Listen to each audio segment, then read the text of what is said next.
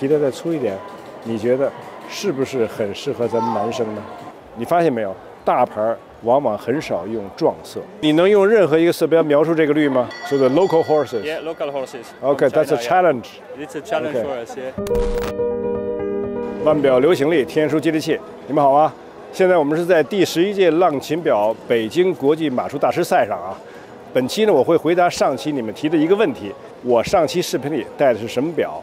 优雅的元素通常包括这么几条啊：仪态、服装、言谈举止、自信和气质啊。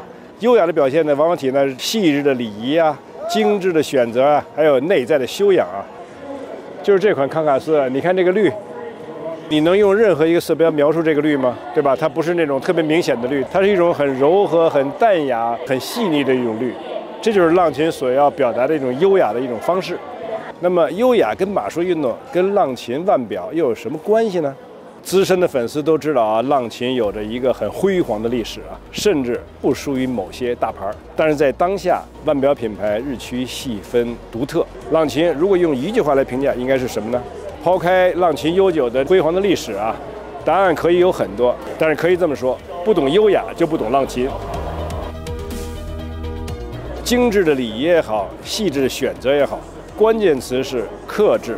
其实克制呢，也是一种内在修养的外化。马术运动应该是体现优雅的最佳方式了。下面我们从以下几个方面看看马术对优雅的诠释。现在我说说我戴的这款表啊 w i t h n o r 我在瑞士比尔旅游的时候啊，比尔是什么地方呢？跟你说，比尔就是劳力士的机芯厂所在地，而且是欧姆家的总部所在地。我在那儿旅游的时候啊，常常看到 w i t h n o r 这个词儿，觉得这个德语名字很有意思啊。为什么在这里出现的频率这么高呢？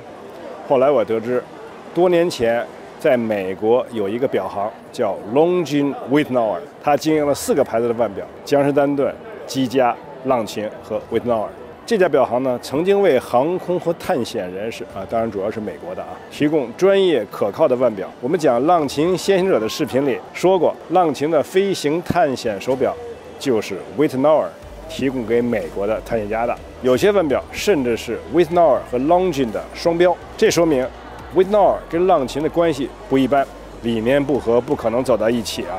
而这款 w i t h n o r 的名字呢，它叫 Twist，很有一种法式浪漫啊。我觉得今天戴上啊，跟浪琴的这种优雅活动很搭。你觉得呢？什么牌子不重要，有一双发现的眼睛很重要。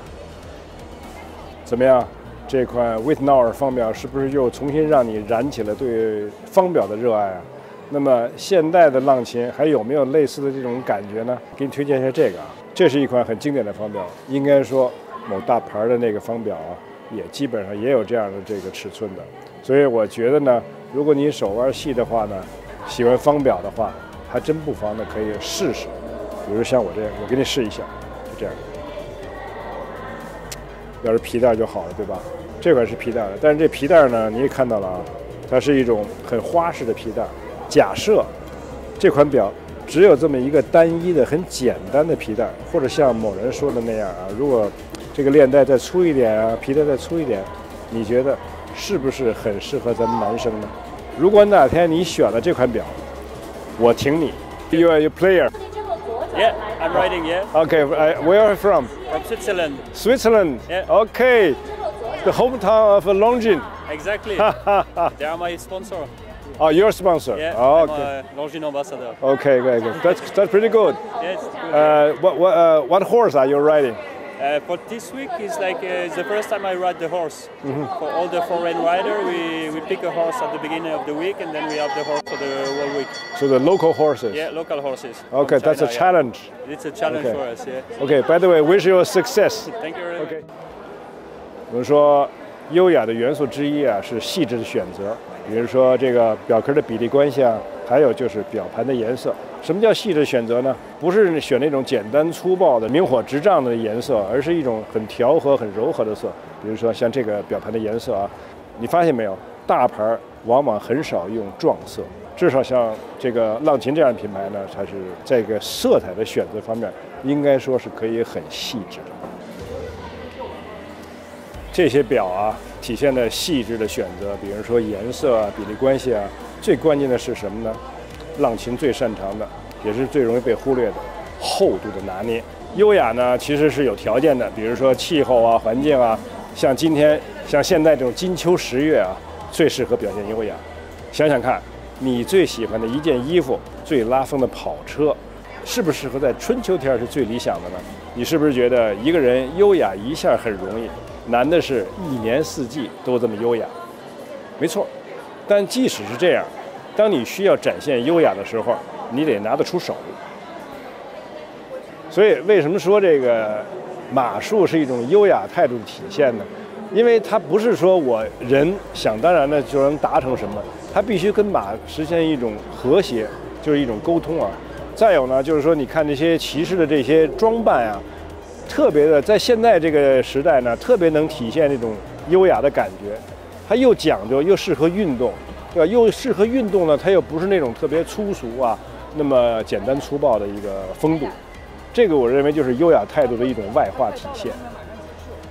一般的马术比赛都有这么一个环节啊，就是这个赛场开放，让这个爱好者啊、观众啊能够到这个障碍前去体验一下。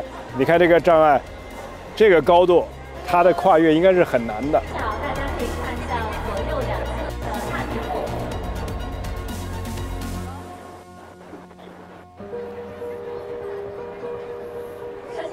浪琴、马术，我戴的表，所有这些元素啊，都围绕着一个元素，就是优雅来展开的。优雅呢，它是有很多的方面，很多的元素啊。你觉得这么说合适吗？我漏掉了什么，或者哪些地方没说到？欢迎你补充。谢谢你，咱们下期见。